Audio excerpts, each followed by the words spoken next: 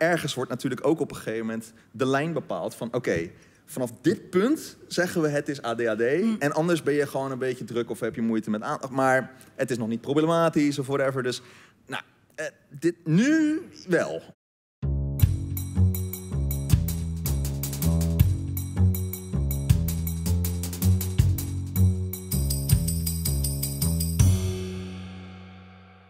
Goedenavond en welkom bij de Bali. Ik ben eh, de programmamaker de Dielissen. En dit, uh, deze avond is onderdeel van Techdenkers. Vanavond gaan we het dus hebben over ADHD. Dat is uitgegroeid tot een van de meest besproken psychische stoornissen op TikTok en Instagram. En we gaan het hebben over zelfdiagnoses. We gaan het hebben over wat is ADHD nou. En we gaan het ook hebben over sociale media en aandachtspannen. Wat, wat doet dat nou met ons? En hebben we nou allemaal ADHD of is het ook een beetje een TikTok-brein dat we aan het ontwikkelen zijn? Dit uh, ga ik niet alleen doen. Dit ga ik ook met Hanneke Mijnster doen. Lennart Thoma, Marieke Kuipers en Chris Klink. Dan wil ik dus heel graag Hanneke Mijnster vragen. Zij is journalist, maar dus ook schrijfster. En zij schreef het boek dat ik hier op tafel heb liggen. Dat heet Hey, is dit ook ADHD? Een warm welkom alsjeblieft.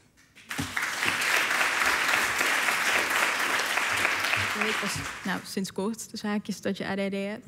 Um, kun je me meenemen op het moment dat jij dacht... oh, misschien heb ik dit ook wel?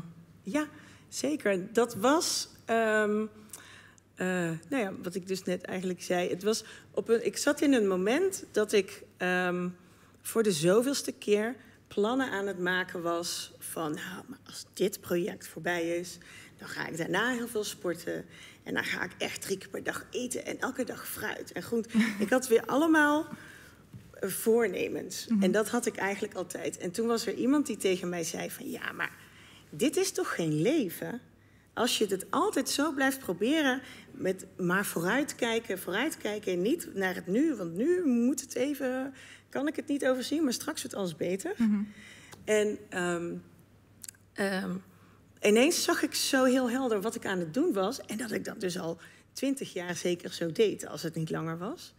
Uh, en dat ik toen wel dacht, uh, ik wilde eigenlijk vooral van het koekjes eten af. En toen, ging, toen merkte ik wel, waarom eet ik die koekjes Dat impulsieve dan, of dat niet per se? Nee, ik, ik, nou dat ging ik dus helemaal onderzoeken. Maar het kwam er dus eigenlijk op neer dat ik uh, niet op mijn bureaustoel kon zitten. En ik hou zo van schrijven, mm -hmm. dat ik heel graag wilde schrijven. En ik wilde heel graag de zinnen die ik in mijn hoofd had, de, de column, de alinea's, die wilde ik eruit typen. Maar ik kon niet op mijn stoel blijven zitten. Dus ik had echt een innerlijk conflict. En ik had gemerkt van nou, als ik dan gewoon koekjes naast mijn toetsenbord leg, dan kan ik met één hand zo en met de andere hand zo. En dan trrr, was ik heel snel klaar. En dan zei iedereen, hoezee, hoezee. Alleen ik was zelf natuurlijk niet blij. Nee. Uh, dus daar wilde ik vanaf. Ik kreeg echt wel zo'n inzicht dat ik dacht... ik kan niet nog 30 jaar schrijver blijven... en altijd maar die koekjes naast mijn computer leggen. Nee. Dus toen moest ik dat gaan doorbreken. En toen kwam ik er dus wel achter ik heb heel veel onrust. Waarom kan ik niet gewoon blijven zitten op mijn stoel? Hm. Wat is het als ik het me echt voorneem en een wekkertje ging zetten? Ik heb dat echt allemaal geprobeerd, maar ik kon niet blijven zitten. En ik werd echt een soort agressief van het gevoel: ik mag niet omhoog. Oh ja. En nu, ja. ja sorry dat je nu ook moet zitten, maar. uh, ik mocht net staan. Ja, dat is waar. Ik, uh, maar ik ben dan ook benieuwd naar. Uh, jouw zoon had eerst een diagnose. Ja. Was het dan ook dat je dacht, hé, hey, wat hij heeft, heb ik mis herken ik dan ook? Of? Nee, dus helemaal niet. Omdat um, uh, dat kwam eigenlijk pas later toen ik er meer van wist.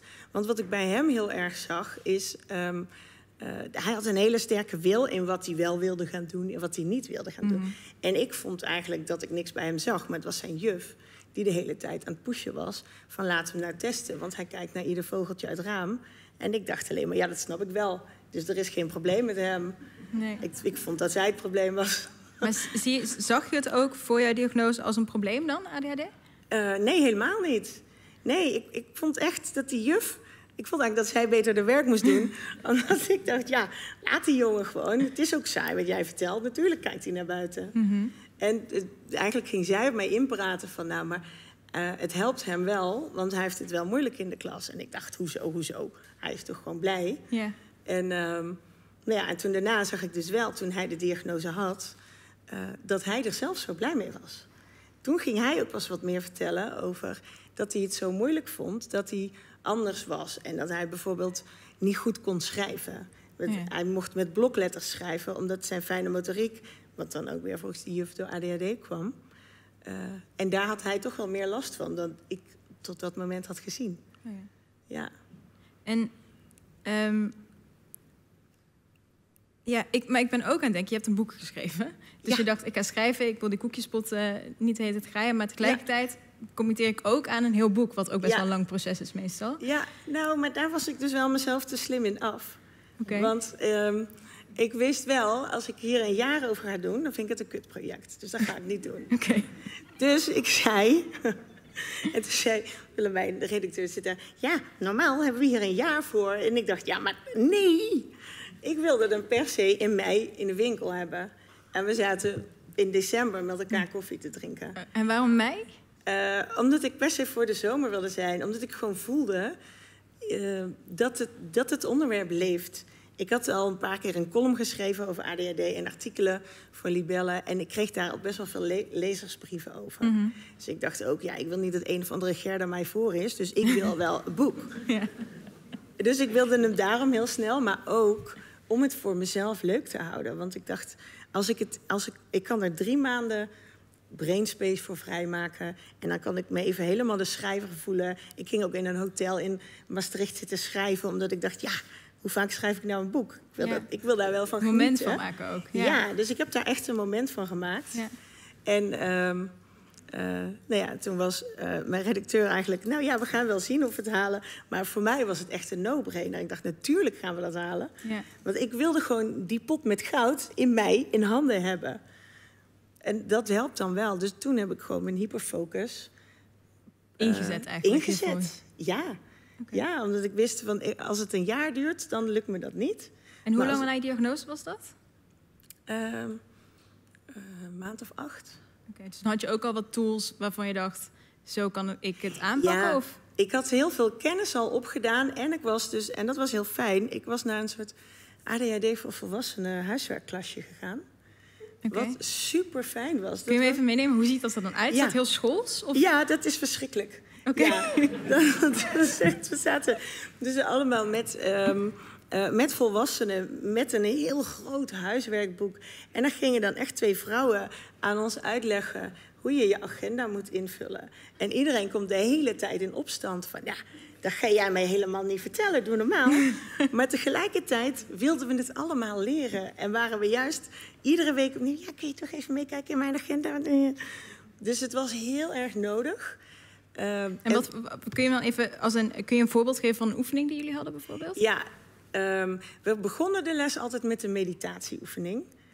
Wat ook echt lachen is, hè, met ADHD'ers bij elkaar gaan. maar Stilzitten en stil zijn. Ja. Ja, en, ehm, maar dat moest altijd en dat werkte heel goed. En dan hadden we iedere week een thema. De ene keer was het agenda, de andere keer was het notitieboekje. Hoe je Ja. een notitieboekje, dat je geen losse briefjes meer mag hebben, bijvoorbeeld.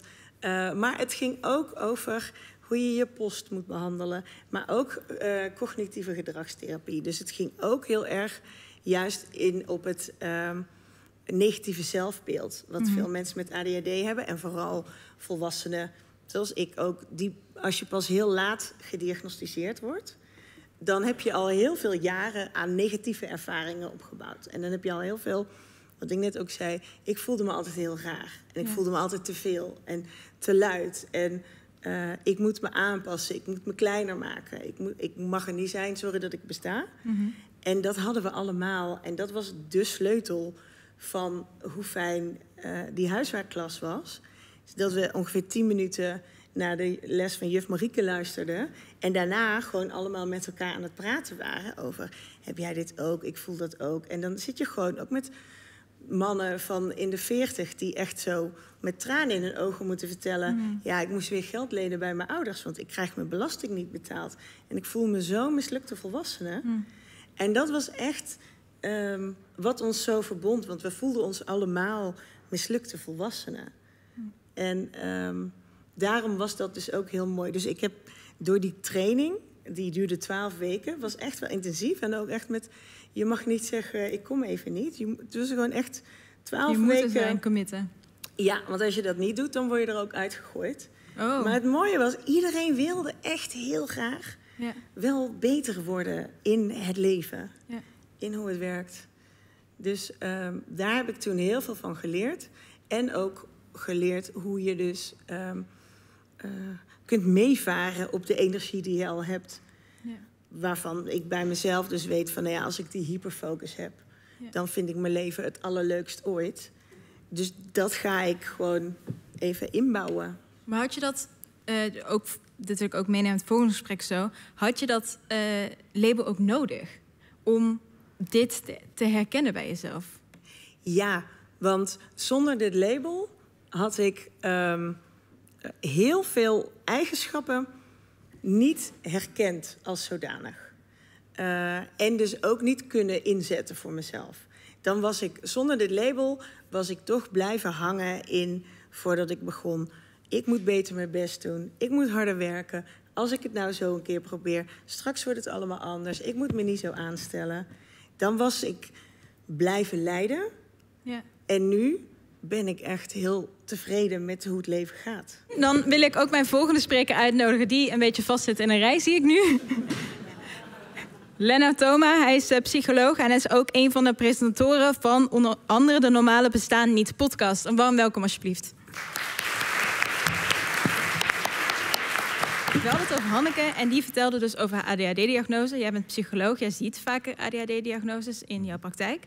Ehm, en ik was eigenlijk heel benieuwd, herken jij wat zij vertelde over dat proces, maar vooral over dat label ADHD? Nou, misschien goed om te zeggen dat ik zelf niet diagnosticeer. Eigenlijk expres ook.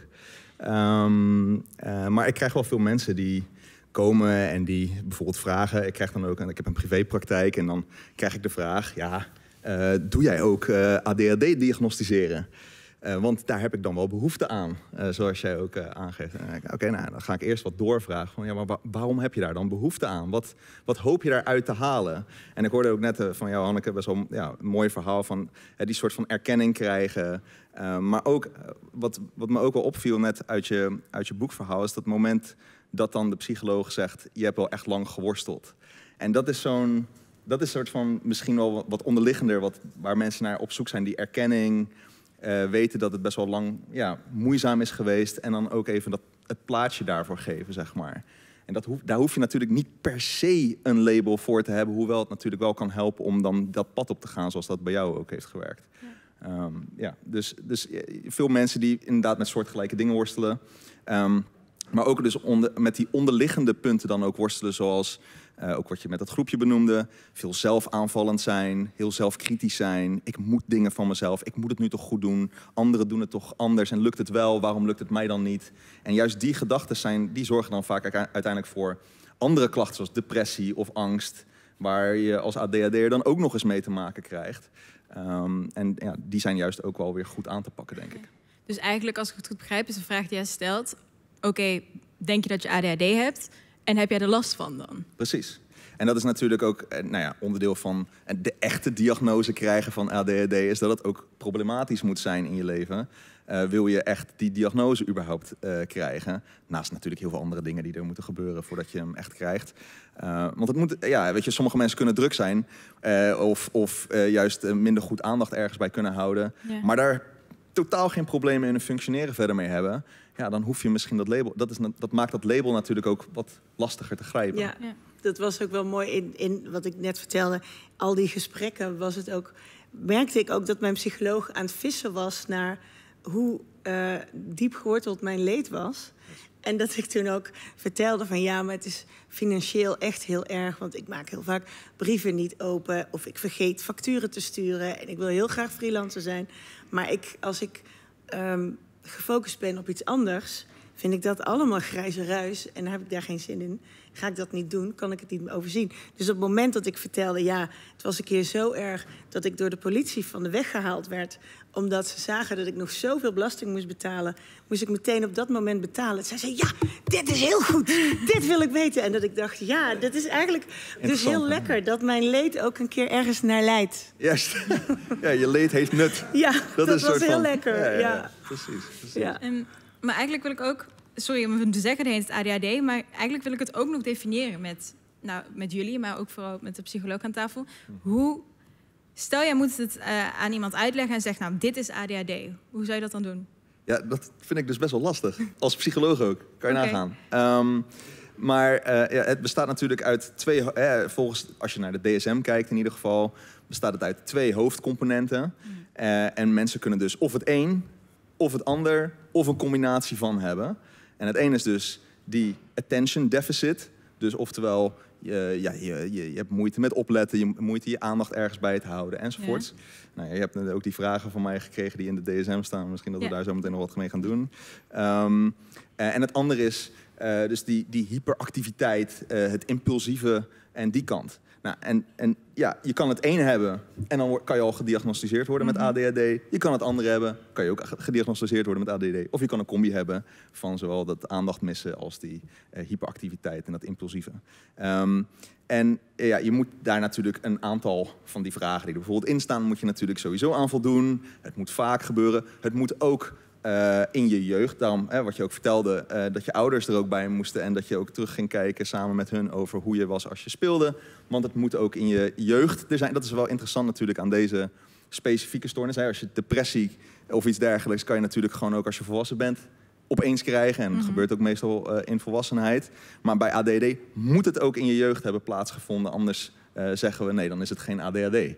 wat wel interessant is. Maar plaatsgevonden klinkt ook een beetje vaag. Is het dan biologisch ADHD? Want bijvoorbeeld jouw zoon heeft het dan ook. Is het dan iets dat je aan elkaar kunt overdragen uiteindelijk? Of? Ja, dus ze zeggen hè, dus, uh, dat, het, dat ADHD uh, een genetische component heeft, 70 tot 80 procent erf, erfelijkheidsbelasting, ook of via de genen, zeg maar. Dus ja, het lijkt vanuit genetisch voor te komen. Er zit ook nog een component in dat vooral dus rond de geboorte of als je nog dus in de baarmoeder bent, dat er dan dingen kunnen gebeuren waardoor je ADHD zou kunnen ontwikkelen. Zijn er verschillende? Ja, uh, dat kan. kan, kan kan zijn dat de, eh, ze hebben studies gedaan naar of het dan met roken te maken heeft. Nou, dat dan weer niet. Maar okay. wel, er, zijn, er zijn een paar studies die iets met over alcoholgebruik zeggen. Maar ook door hoge stress van de moeder. nou, is dat natuurlijk niet zo dat als de moeder hoge stress heeft terwijl je in de buik zet, dat je dan automatisch ADHD krijgt. Maar goed, het zou een mogelijke voorspeller kunnen zijn. En zo zijn er heel veel dingen die er uh, kunnen gebeuren. En dan kan je, hoef je niet per se ADHD te krijgen. Heel veel andere stoornissen ja. uh, hebben daar natuurlijk ook vaak een soort van oorsprong soms. Dus we weten het ook niet helemaal zeker eigenlijk? Nee, het is, uh, we zijn nog steeds ja, best wel veel aan het zoeken, denk ik, als onderzoekers ook van waar. En het verschilt ook nog eens per persoon. Dat is nog helemaal, helemaal moeilijk. Het is ook nog eens een spectrum. Ja. Dus, en, en ergens nou, we hadden het er net over uh, met, met, met Chris, die zo meteen ook aan tafel schuift. Van ja, ergens wordt natuurlijk ook op een gegeven moment de lijn bepaald van oké, okay, vanaf dit punt zeggen we het is ADHD. Mm. En anders ben je gewoon een beetje druk of heb je moeite met aandacht. Maar het is nog niet problematisch of whatever. Dus nou, eh, dit nu wel, zeg maar. En dan opeens heb je dat label en mag je aan de Ritalin en uh, worden behandelingen vergoed, enzovoort, enzovoort. En dat is natuurlijk ook, ja, ik heb een hele, in Normale Mensen Bestaan Niet in de podcast, samen met Thijs Lauwensbach ook een hele aflevering over labels opgenomen. Waarbij wij ook toen van een luisteraar ook te horen kregen, ja, weet je waar mijn label goed voor is? Namelijk dat ik dan behandelingen vergoed krijg. Ja. En that's it. Uh, en voor de rest vind ja. ik het nergens goed voor. En ja, sommige mensen die vinden het label weer fijn dus. En uh, geeft het rust. Ik had ook toevallig vandaag een vriend van mij gesproken die met ADHD gediagnosticeerd was. Ik was wel even benieuwd hoe het bij hem was. En hij zei, ja, het, heeft, het is een soort van tweeledig bij mij. Want aan de ene kant ben ik uh, een soort van milder voor mezelf geworden op heel veel vlakken, doordat ik dat label heb. Hm. Maar tegelijkertijd werkt me dat ook tegen, want soms ben ik te mild voor mezelf. Ja, en als ik dan dus naar, kom ik te laat bij vrienden en dan zeg ik, ja, kan er ook niks aan doen, hè? want ik heb ADHD. Terwijl, terwijl die 9 van de 10 komt hij gewoon op tijd. Dus ja, ja, weet je, het is ook weer een soort van goed praterij. Ja. Ja. En dat is natuurlijk wel, zo, ja, dat, dat zullen wel, misschien wel mensen herkennen. Je gaat soms ook verschuilen achter het label, wat dan misschien ook niet de bedoeling helemaal is. Nou, mag ik daar iets op aanvullen? Ja, ik merkte dus dat op het moment dat ik ADHD op het spoor was, en ik vond het dus eigenlijk meteen heel leuk. Want ik dacht, ja, dit is nieuw. Ik wil dit allemaal weten. En ik wil ook gewoon dat die shit opgelost is. Maar toen ik het dus eenmaal wist, betrapte ik mezelf er ook op dat ik wat meer in mijn symptomen ging hangen soms. Juist. De, en niet als excuus naar anderen, maar juist ook inderdaad in de, in de extreme mildheid naar mezelf. Ja. Dat, ik, dat ik mezelf echt drukker vond worden. En dat ik dacht, ik ga echt nog slechter koken, want ja... Ik heb ADHD. Ja. Precies. Het is allemaal overmacht. En dat ik toen dacht, oh ja, nee, nou moet ik mezelf er ook wel weer even bij ja. trekken. Omdat ik op alles ging letten. Ik kwam Ik vond het fijne aan een label ehm, dat ik ook wist waar ik moest zoeken. En ik ben natuurlijk vanaf mijn zeventiende uh, tot mijn 42ste ben ik aan het zoeken geweest. En ineens wist ik waar ik moest zoeken. En dat is het, je bent gewoon best wel aan het dolen als je het niet weet. Dan voel je je weer eenzaam. Yes. Met een laag zelfbeeld voel je altijd al eenzaam. En ik dacht, ik heb echt een club vrienden gevonden. Dit is fantastisch. Ja. Dus dat was heel fijn. Maar ik ging er dus wel een beetje in, in hangen toen. En dat ik wel dacht, ik moet weer even een beetje terug naar mijn echte zelf. Want nu ik van alles weet wat erbij hoort, ging ik daar ook allemaal op inzoomen. Ja. En het even... werd zo van een obsessie bijna. Ja. En alsof je ook dan misschien bepaalde soorten symptomen naar je toe trok. Van, oh ja, die heb ik nu ook. Oké, ik ga jullie even onderbreken, want we hebben ook een paar dingen... Je hebt mij wel dingen gesmaild. En we hebben een slide waarin dus ook allemaal uh, symptomen van ADHD staan. Dat is dan... Ja, dit zijn de vragen. Okay, dus, de vragen. dus als, je, als je naar de DSM-5 uh, kijkt, uh, dan zijn dit uh, eigenlijk de karakteristieken van ADHD. En het idee is dan dat je als kind zijnde op of de linkerkant of de rechterkant zes van de dingen vaak moet hebben. Vaak of heel vaak, whatever that means. Okay. Um, uh, maar dat moet je vaak of heel vaak hebben, of zes van de ene of zes van de andere. Uh, en natuurlijk een combinatie kan natuurlijk ook. Hè, dat je, en maar het zijn er 18, dus ja, en als zes daarvan. Ja, dus zes okay. daarvan. En als, en als volwassene heb je er vijf uh, van nodig. Wil je dus al een beetje in aanmerking gaan komen dat je mogelijk ADHD hebt. Maar als je dit leest, dan heb ik ook ADHD. Ja, ja precies. Want ik, ben, ik praat veel en overmatig, zoals je misschien tot nu toe hebt gemerkt.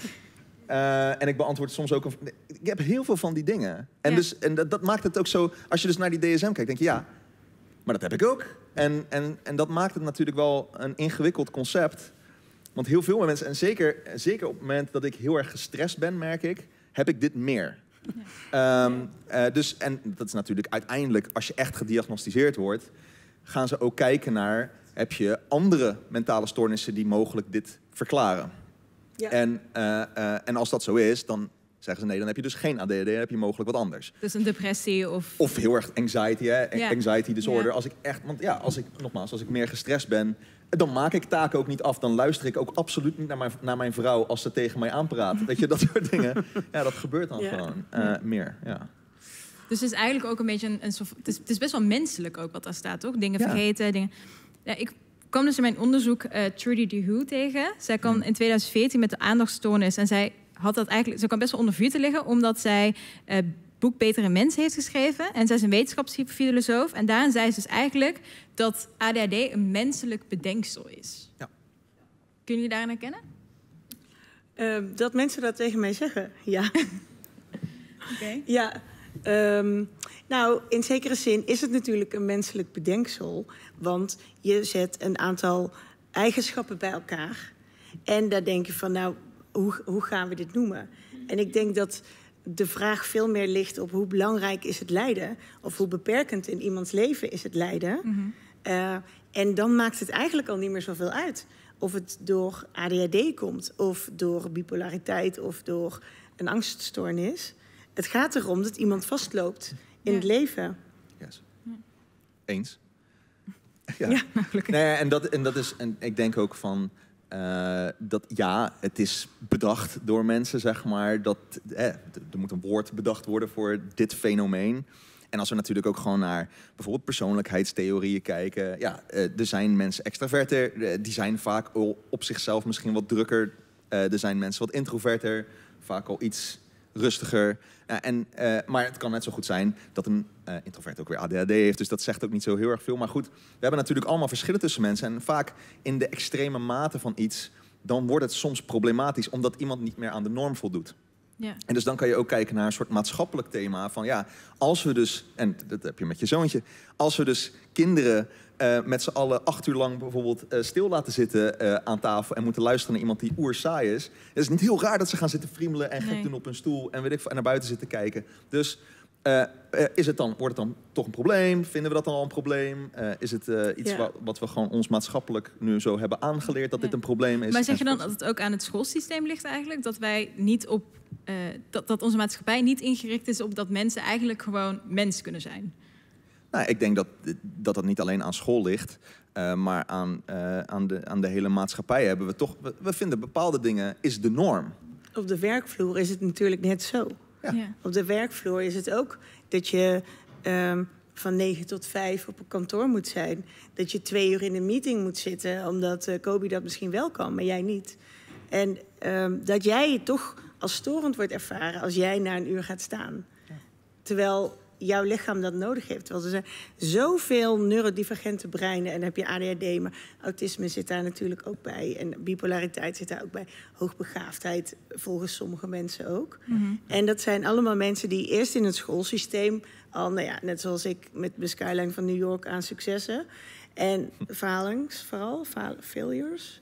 Maar daarna op de werkvloer heb je dat natuurlijk weer. Zeker. Dan heb je weer structuren die een groep van de mensen wel kan en een paar andere mensen niet liggen. En toch wordt er dan vooral veel gekeken naar als het je niet ligt, moet je doorzetten, moet je het aanpassen, uh, je verstoort de vergadering, ja. uh, dat soort zaken. Dus het zit in het, in het hele uh, maatschappelijke systeem dat er structuren zijn bedacht die gewoon voor een grote groep uh, andersdenkenden eigenlijk helemaal niet werken. Nee, en de vraag is ook of een neurotypisch brein eigenlijk überhaupt bestaat. Ja. Uh, want we hebben allemaal toch een, een beetje een ander brein en, en, en, en onze eigen quirks ook vanuit nou, genet, genetische kant, ja. maar natuurlijk ook vanuit onze opvoeding.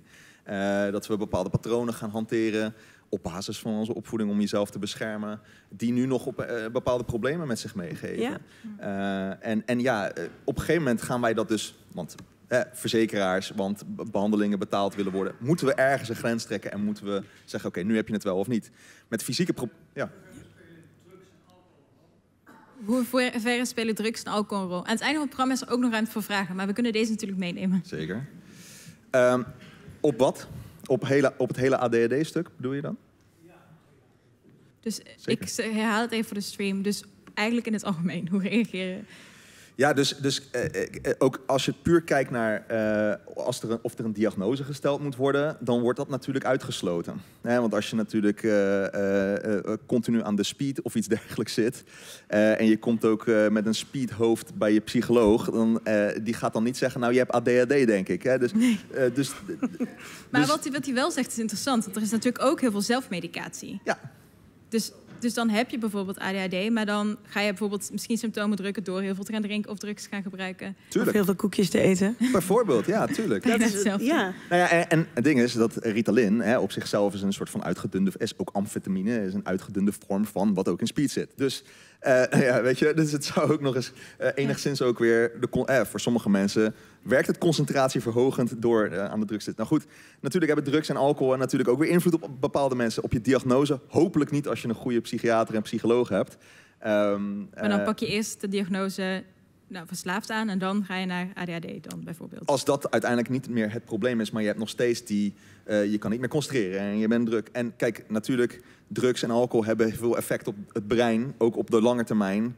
Uh, uh, denk aan Korsakoff als je zo lang hebt gedronken dat je op een gegeven moment dement raakt. Mm -hmm. dus um, ja, dat moet ook wel allemaal uitgesloten worden dat je niet nog na-effecten hebt van dat je heel erg verslaafd bent geweest. Nou goed, dus het maakt het allemaal weer heel erg complex. Mm -hmm. um, maar in principe zou je dus in je jeugd nogmaals ADHD moeten hebben gezien. En als het goed is ben je dan niet heel erg aan de drugs en de alcohol. You never know. Maar daar zou het zich al hebben moeten gemanifesteerd hebben. Ja. Oké. Okay. Lijkt me een goed moment om ook af te sluiten. Ik wil heel graag de sprekers bedanken. Ik wil ook heel graag uh, de samenwerkingspartner Agem bedanken... en mijn collega Romaan Bablet, die heeft geholpen met het programma. Dank jullie wel en tot de volgende keer.